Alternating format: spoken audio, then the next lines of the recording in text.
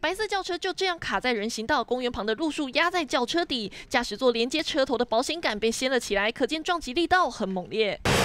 七号晚上九点多，白色轿车从三重往泸州方向，一台机车突然出现在右方，轿车紧急左闪失控，先撞上分隔岛，再冲上人行道，撞上路树停下。会这么失控，原来肇事驾驶还有喝酒。啊，警方到场啊，发现陈贤啊满身酒气啊，及实施酒测啊，酒测值高达零点九八，脸部啊有点擦伤哦。